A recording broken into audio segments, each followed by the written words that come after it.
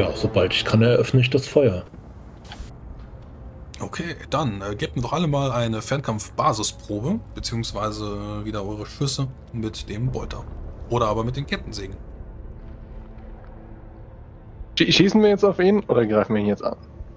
Ich schlage vor, wir beiden stürmen vor. Wir haben ja unser Jet-Dings und greifen ihn direkt nah an, sobald die anderen geschossen haben. Sollte tatsächlich gehen. Ja, Dann lassen wir sie erst schießen und dann stoßen Ja. wir uns ab. genau.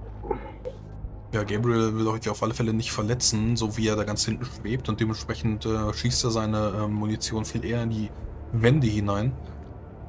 Aber Octavius feuert eine Salve den Gargülen entgegen, zerfetzt ihre Flügel, sodass sie dann nur noch tudeln, äh, viel weniger ungelenk. Ähm, und dann stoßt ihr euch mit euren Sprungmodulen ab. Äh, die Gravitation hilft euch auf alle Fälle, sodass ihr auf brutalste Geschwindigkeit herankommt. Müsst nur noch eure Energiefaust oder aber den, äh, die Kettensägen nach vorne halten. Es rotiert einmal und während dort alle in einem langen Gang die Gargülen auf euch zufliegen, schneidet ihr euch einfach mit eurem Sprungmodul und den Kettenwaffen durch sie hindurch. Beim langgezogenen Schrei später wird er hoffentlich durch. Die anderen können nachfolgen. Dann steht die Synapsenkammer. Eine gewaltige, kuppelförmige Höhle aus grauem und purpurnem Fleisch, zähflüssiger, dunkler Schleim, der überall entlang tropft. Und ihr könnt große Säulen erkennen, die dann hier abzweigen. Eine gewaltige Struktur, schwammähnlich. Sie erinnert den Apothekarius vielleicht so etwas an ein, wie ein Gehirn. Oder sind wir richtig? Und wenn es dies nicht ist, ist es nirgendwo. Das ist auf jeden Fall unsere beste Chance bisher. Ich werde auch davon eine Probe entnehmen. Aber wir sollten uns umschauen, solange wir noch hier sind. Vielleicht äh, kriegen wir noch etwas Besseres, womit wir mehr äh, Informationen draus ziehen können. Dann solltet ihr den Raum analysieren, während wir euch Deckung geben. Ihr nehmt eure Probe, wir stellen derweil die Bombe auf. Ja, die gewaltige Bombe, die, der nukleare Sprengsatz wird abgestellt. Ähm, Wilhelm wird das Ganze dann eben so sehr verkabeln, dass der Druck von Gabriel äh, dann eben genügt, das alles in die Hölle zu jagen. Und äh, ihr könnt euch ein bisschen umschauen. Ihr seht, wie irgendwelche Kabel oder Wirbelknoten äh, von diesem Gehirn oder von diesem Schwamm abgehen und zu Säulen führen. Und während ihr das Ganze untersucht und äh, Gabriel seine merkwürdigen Instrumente in dieses Gehirn reinrammt, da könnt ihr einen langen Kreischen, ein Kreischen vernehmen und ein Zusammenzucken von sämtlichen Gängen. Und dann seht ihr, wie von diesen Säulen, äh, sie Brutpoolen, sich weitere Krieger lösen, die dann auf euch zustürmen. Fünf Krieger. Okay, wo sind wir? Einen Moment, ich ziehe euch gerade in die Mitte. Ihr seid im Prinzip genau. Warten Sie, Sir. Achso, wir sind schon da am Hauptheuer. Ich dachte, ja, das hier die Bände mit Gehirnmasse. Ja, okay, dann ist genau das, was wir brauchen. Und jetzt stürmen fünf Krieger aus den Schächten auf euch zu. Was wollt ihr tun? Ja, wir halten die Stellung, sodass die Bomben und die Proben äh, platziert werden können, ne? Es scheint, als wäre das gewesen. Nehmt eure Probe und lasst uns hier verschwinden. Ist dieser Raum immer noch äh, dieser äh, Flug, dass wir immer noch automatisch fliegen? Ich dachte, das wäre nur in den Schächten gewesen. Genau, äh, die Blitze und die Schwerkraft ist mittlerweile verschwunden, sodass ihr jetzt wieder auf dieser merkwürdigen Oberfläche, diese fleischartige Oberfläche stehen könnt. Gut, dann äh, Wir nehmen, fangen an zu sprinten auf euch zu.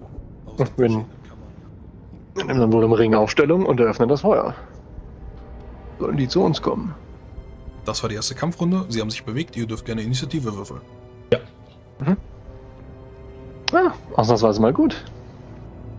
Ausnahmsweise mal sehr gut. Gabriel musste derweil, äh, nee, gar nicht, ähm, Wilhelm muss derweil verteidigt werden, während er die Bombe fertig macht.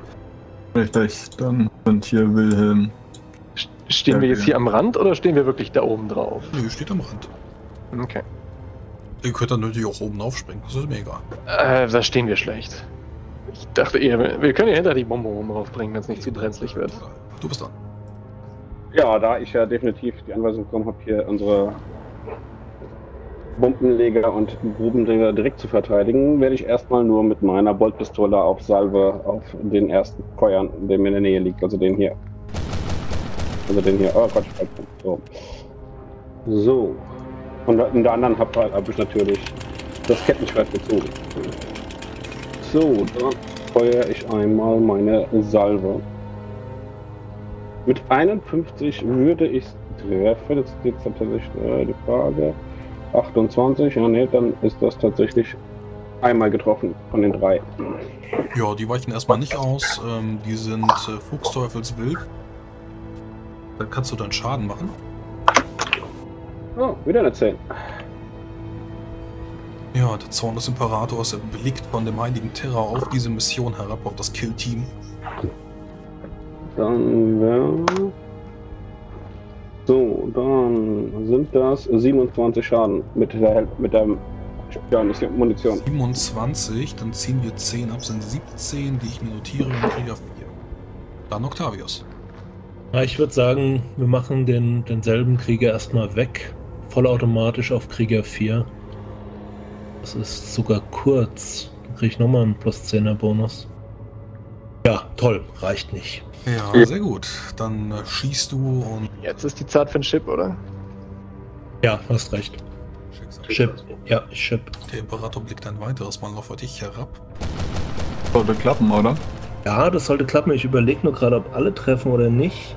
Also ich krieg plus 20 wegen vollautomatisch, plus 10 wegen dem Eid. Ähm, plus 10 wegen Zielmarkierer sind plus 40. Plus 10 für halbe Reichweite. Ja, reicht. Alle treffen. Dann kannst du deinen Schaden mal 4 machen. Ähm, die 2 müssen wir weg, aber die 10 nochmal. Das sind 23. 23 plus 1. 24. 24 sind 14. Das reicht noch nicht. Aber viermal, ne? Mal 4, du hast recht. Wenn es viermal ist, dann ist er tot. Krieger, Größe, Zustand, tot. Das war der erste. Dann ist Bruder Arminius 13. Ich werde dasselbe tun wie Bruder. Ich hätte ihn fast Trallab genannt. Nein, total natürlich. Und werde mit der Boltpistole erst einmal halbautomatisch das Feuer öffnen. Äh, das ist so oder so nicht getroffen, aber ich fühle mich relativ gut dabei, einen Chip dafür auszugeben. 40. Und das trifft. Jetzt muss ich leider rechnen. Es ist nicht halbe Reichweite, es ist aber auch nicht doppelte. Ich kriege plus 10 für den Alt. Und ich kriege plus 10 dafür, dass ich halbautomatisch schieße. Das ist eine plus 20. Damit habe ich zwei DOS und das heißt, mein zweiter trifft. Dann mache ich zwei Treffer an ihm. Ich würfel erstmal den ersten aus. 3d10 plus 5. Da geht die 1 raus. Da haben wir also 17. Diesen hier? Ja, auf den. Äh, das sind gerade mal 17 mit Höllenfeuermunition, also geht die natürliche Rüstung weg. Und hier kommt der nächste. Das sieht besser aus. Die 2 geht raus. Für jetzt schon mal 22 und wir würfeln einen neuen, weil der Zaun des Imperators zieht. Für dann äh, 30 glatt. Wieder 30 minus 10 sind 20. Dann bin ich dran. Das Schwarmschiff. Und äh, ich guck gerade mal. schaffst du nicht. Schaffe ich nicht, ne? 36. Der macht. Was ist denn die Halbreichweite? Das muss ich gerade mal gucken. 18. Dann werde ich den 18 ziehen. Der macht 18, der ist tot und der macht 18. Dann habe ich 1, 2, 3. Drei Kreaturen, die euch mit ihren Fernkampfwaffen angreifen. Das ist nicht gelungen. Nein. Also falls irgendeiner von diesen Angriffen direkt auf die Bombe oder Bruder Wilhelm geht, dann stelle ich mich dazwischen und fange das mit meinem Körper ab. Ähm, Okay, können wir uns beim nächsten Mal angucken. Bisher haben sie erstmal ungezielt geschossen und ähm, haben eben mit ihrer Säure äh, euch wohl auch nicht getroffen. Also sie haben auch die Säure Spucker. Das war im Prinzip mein Zug, Gabriel. Ja, ich stelle meine. Oh, ich trete an den Gehirnstamm heran, äh, nehme meine äh, Kettensäge, mein Kettensägenschwert und äh, schneide rein, um einen Blick auf den Gehirnstamm, auf den, die, ähm, den Gehirnlappen zu bekommen, um dieses genauer zu analysieren und die Daten rauszuziehen, für welche wir hergekommen sind. Äh, Angriff gelingt automatisch. Gib mir mal ein, äh, dein, deine Treffer. Schaden willst du haben? Klar. Das sind äh, 33. Dann gibt es ein weiteres Kreischen, äh, so und zwar simultan von den Tyrannidenkriegern, die hier noch sind, und aus dem gesamten Schiff. Ja, nicht. Kampfrunde. Möchtest du was sagen? Ja, ne? Ich bleib, äh, muss tatsächlich erstmal gucken, Sekunde, wie weit. Oh, es reicht gerade so nicht mehr. Äh, aber ich schieße trotzdem. Erstmal weiter auf den nächsten. Ist momentan am meisten sinnvoll, aber mit der 18 treffe ich trotzdem. In der Salve. Auf welchen schießt du? Den oben oder den unten? Ja. Weil den da oben siehst du besser als ich. Also schieße erst mal auf den unten den. Und habe wieder auf Salve geschossen, würden tatsächlich sogar mit der 18 alle drei treffen. Drei Stück, dann äh, sie weichen immer noch nicht aus. Sie haben es noch nicht gelernt. Schaden.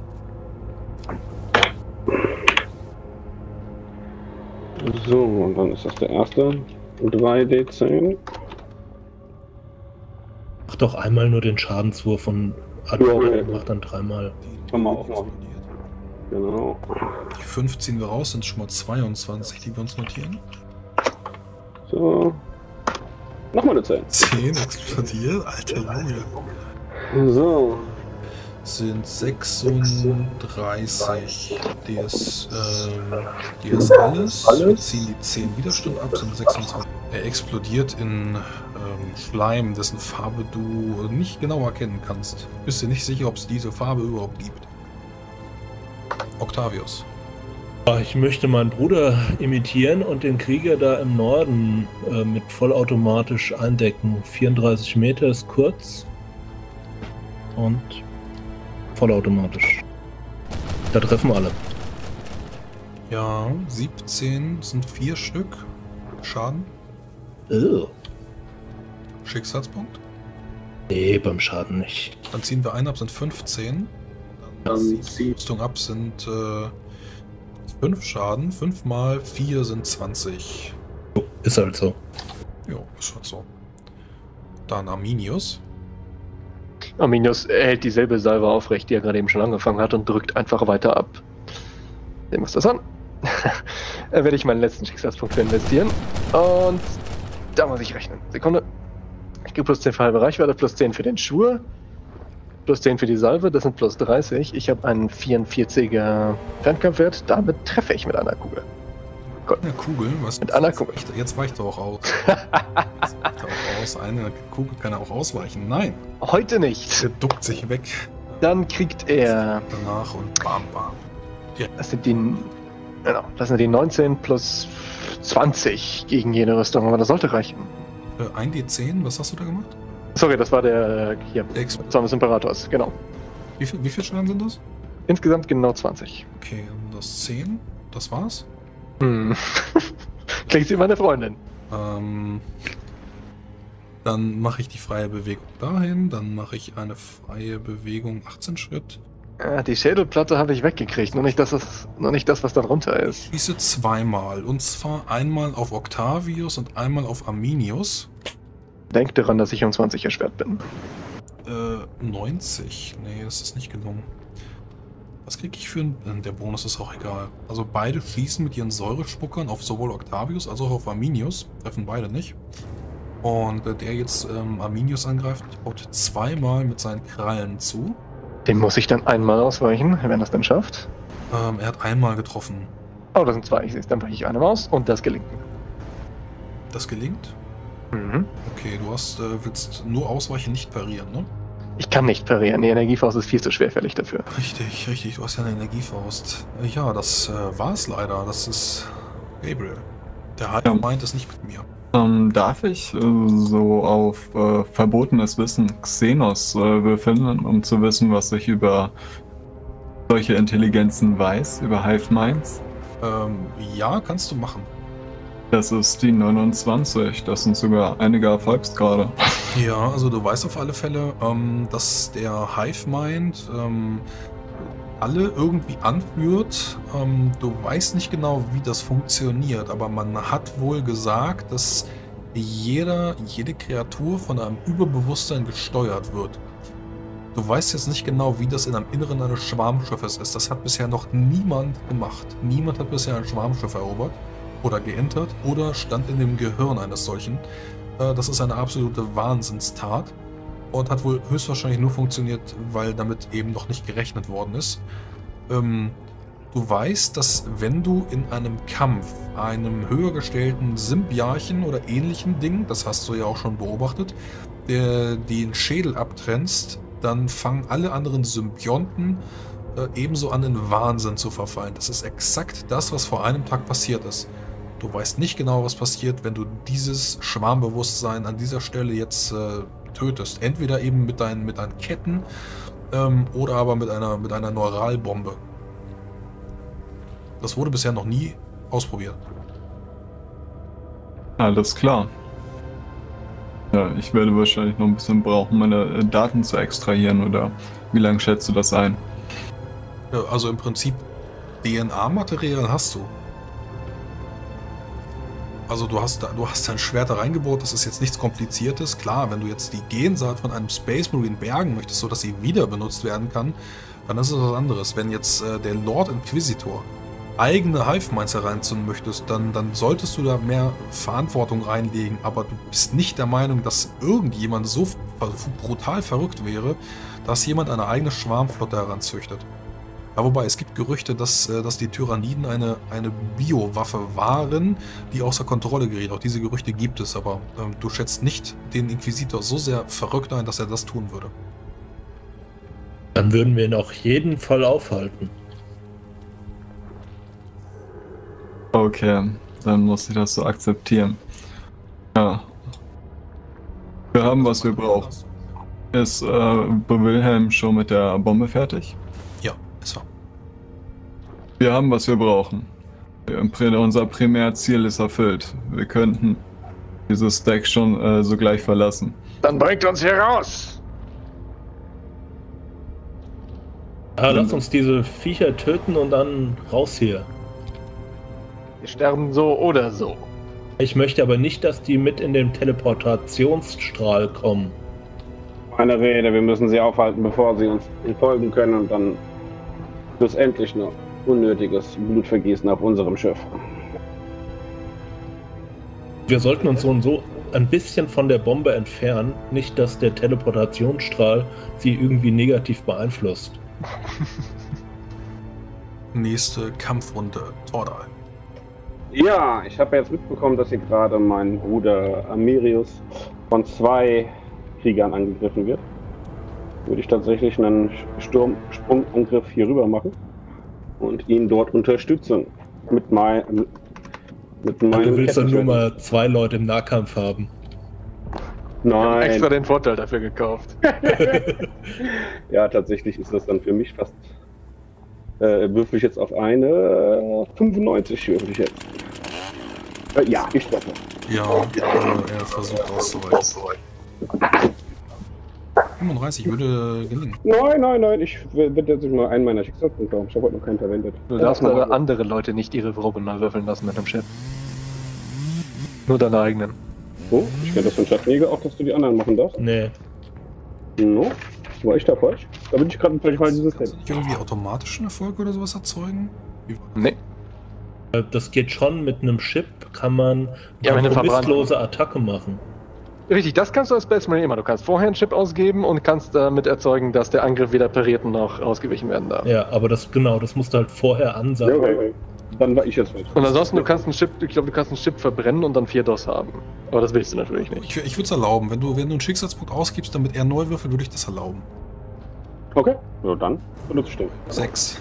Das ist nicht gut. Das war jetzt gemein. Aber war gut. Mir gefällt das.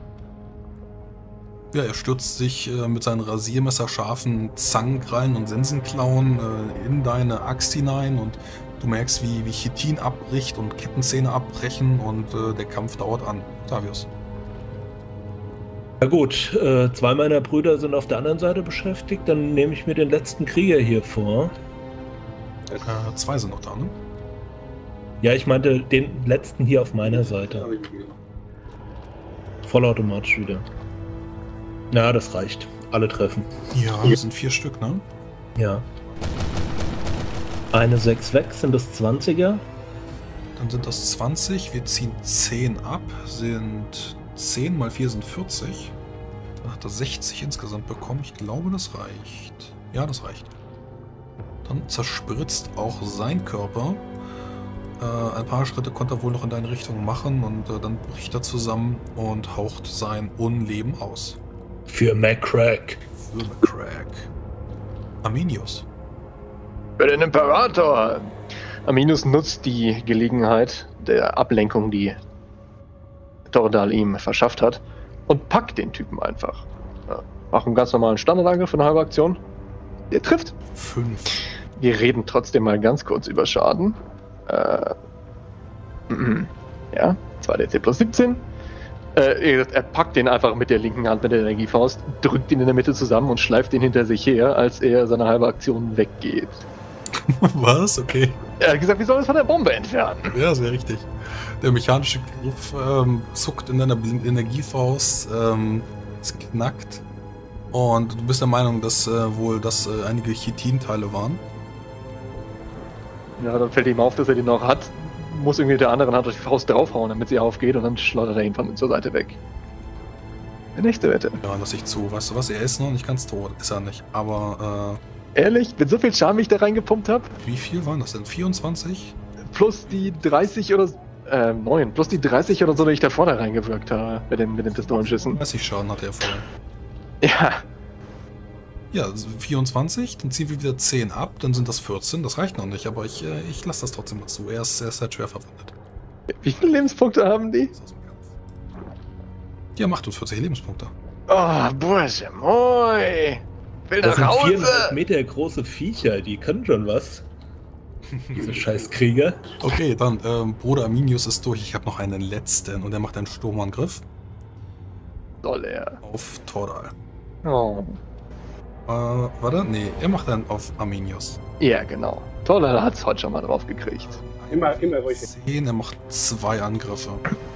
Äh, Ist das dein Ernst? Er trifft nur einmal. Er trifft gar nicht, weil ich ihm einfach die Schulter, weil ich ihn einfach Schulter checke, bevor er da ist. Gut. Das war's. Gabriel.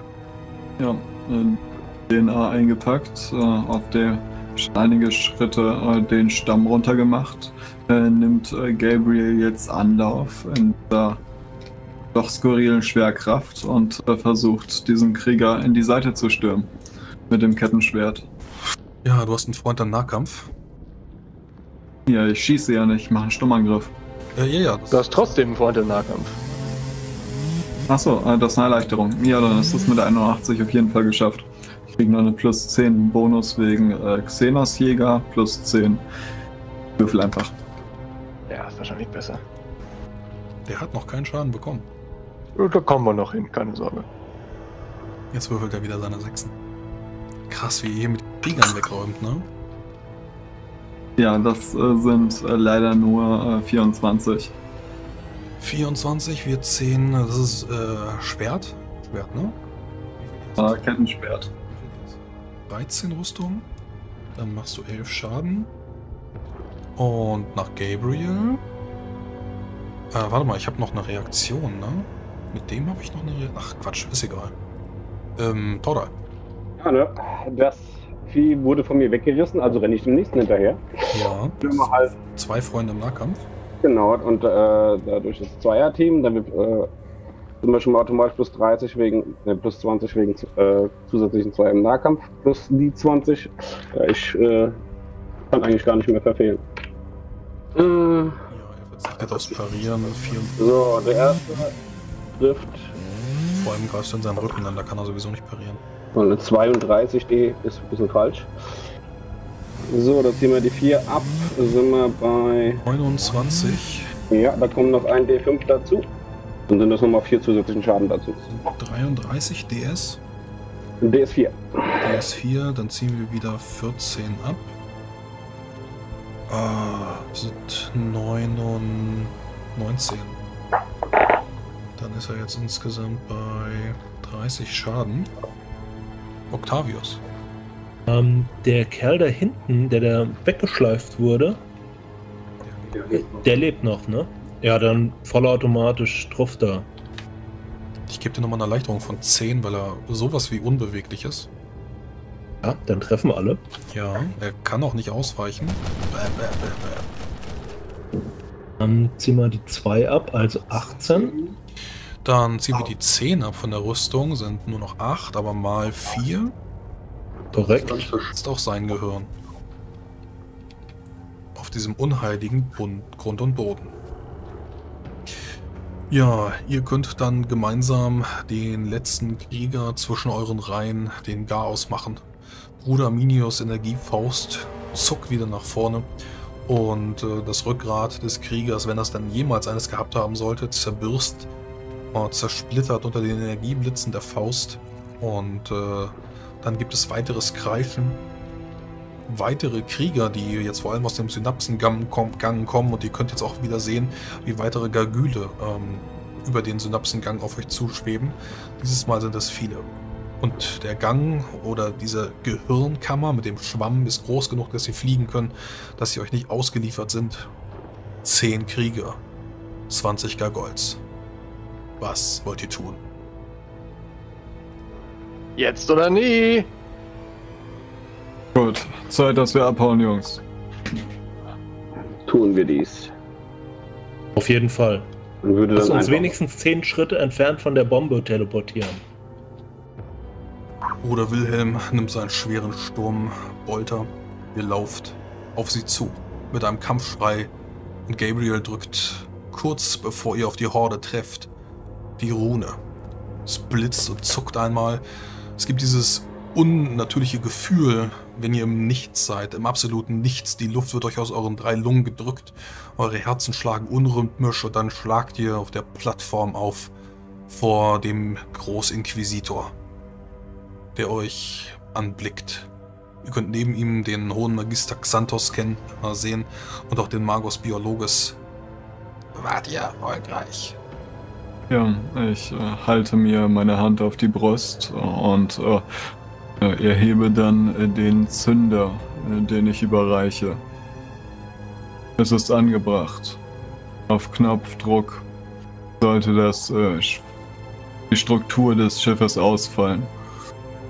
Ihr wart also direkt im Zentrum von diesem Schwarmschiff. Waren wir und wir haben alle erforderlichen Proben mitgenommen. Der Großinquisitor nickt. Die Ehre gebührt euch. Das sehe ich auch so. Gabriel. Gut, dann löscht das Wesen aus. Für den Imperator. ja, äh, dann nehme ich den Knopf und äh, drücke. Ich zögere nicht.